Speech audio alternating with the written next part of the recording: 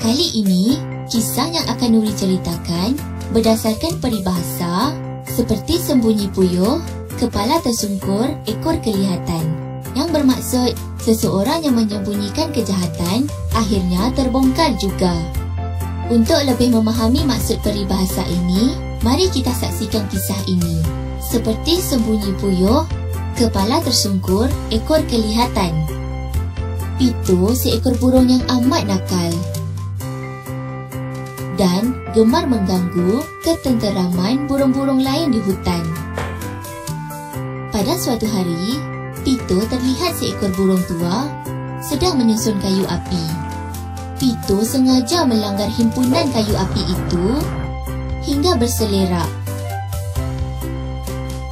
Sambil ketawa, ia melarikan diri daripada burung tua yang sungguh marah melihat kelakuannya. Kemudian, Ah, Pito terserempak pula dengan seekor anak burung yang sedang menangis.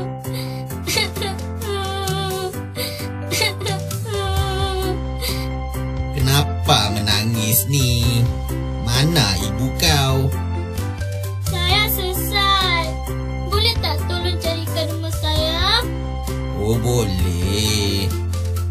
Tapi aku tak boleh berfikir kalau kau bising macam ni. Kejap ya. Ha, sekarang barulah senyap sikit. Kau duduk sini diam-diam. Aku nak pergi berfikir dulu.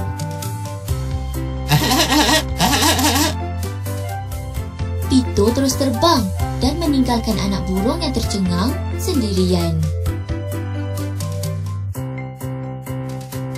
Sedang berehat, ia terlihat seekor burung belatuk sedang membuat lubang. Ha, satu lagi mangsa.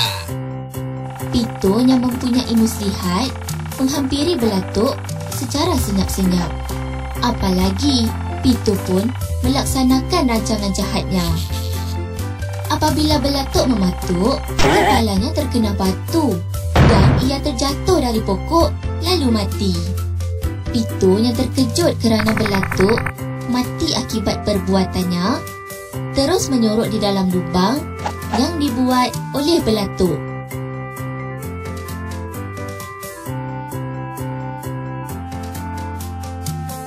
Sekumpulan burung melalui kawasan tersebut dan mereka amat terkejut melihat bangkai belatuk. Apabila mereka mendongak, mereka ternampak ekor pitu. Malang buat pitu. Perbuatannya diketahui kerana walaupun kepalanya berada di dalam lubang, ekornya jelas kelihatan. Pitu terpaksa mengaku bahawa yang berlaku adalah angkaranya. Pito akhirnya mendapat hukuman yang setimpal atas perbuatannya. Ha, janganlah adik-adik menjadi seperti burung puyuh yang nakal itu ya. Adik-adik pasti akan mendapat keuntungan jika sentiasa berbuat baik dengan semua orang. Sekian dahulu. Bye.